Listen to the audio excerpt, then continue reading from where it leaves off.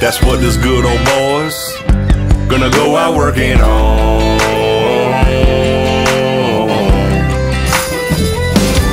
Working on coming to Jesus, thinking about wrestling with our roots, trying to turn off mama's tears and feel our.